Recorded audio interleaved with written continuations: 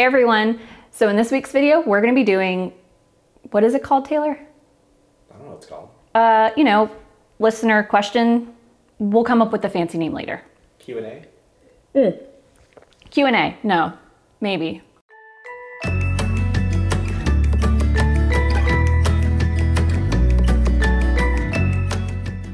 So this week's question comes from Sarah. So Sarah asks, I have a 24 hour late cancellation policy, but I hardly ever enforce it. Help! I find that therapists are in two camps when it comes to their cancellation policies.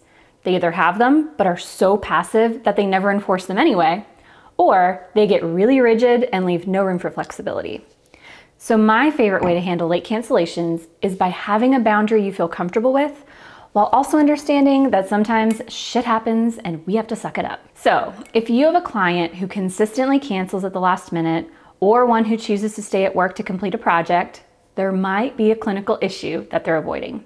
In this case, it's actually important to charge the late cancellation fee because by allowing them to miss sessions, it's negatively affecting their progress. So basically, not charging them is only enabling something that might be clinically relevant.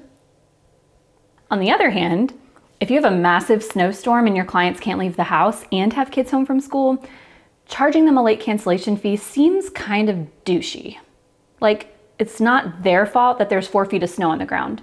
So these are one of those times where I think it's best to just suck it up, waive the fee, and enjoy a day off. So instead of forcing yourself into this box of either being super lenient or super rigid, treat cancellations on a case by case basis.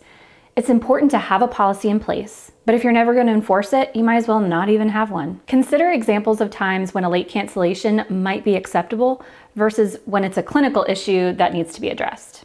We aren't helping our clients by allowing them to miss appointments without being held accountable. On the other hand, we're also not helping them by sticking to rigid policies that don't allow us to be compassionate at times too. So I hope that that answered your question, Sarah. And if you are interested in submitting a question, just click the link below. See you guys next week.